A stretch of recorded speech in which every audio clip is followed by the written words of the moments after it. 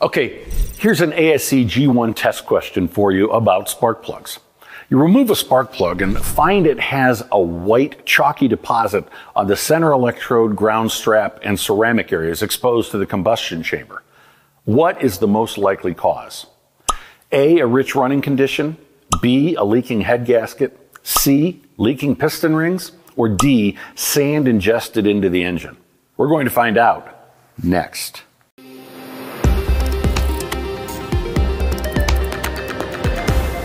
This video is sponsored by Autolite, manufacturers of high quality spark plugs since 1935. Visit Autolite.com for more information.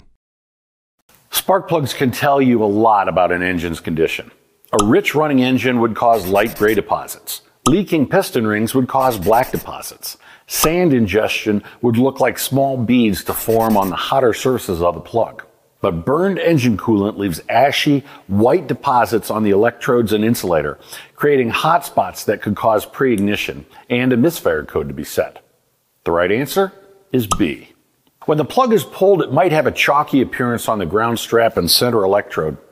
Modern coolants do not cause this type of buildup quickly due to the reduction of phosphate, zinc, and other additives that can contaminate the catalytic converters. In the past, the converter would become clogged and stop the engine before significant damage occurred. Internal coolant leaks can foul a spark plug and cause a misfire. The problem could be a leaking intake manifold or head gasket, and the foul plug might be localized to one or two adjacent cylinders. If the owner has been fighting a leak by topping off the coolant with water or the wrong coolant, it can degrade the head gasket and other gaskets that come in contact with the coolant. Coolant with the wrong base chemistry can damage the engine. If a cooling system requires organic acid technology coolant, it's usually orange, yellow, red, or purple, or hybrid organic acid technology coolant, usually orange or yellow, and conventional green coolant is used, it can also degrade the head gasket. Beyond that, some import nameplates specify levels of silicates and phosphates. If the levels of those additives are not suited to the engine, even more damage can occur. Abnormal condition of the spark plug typically indicates some other problem.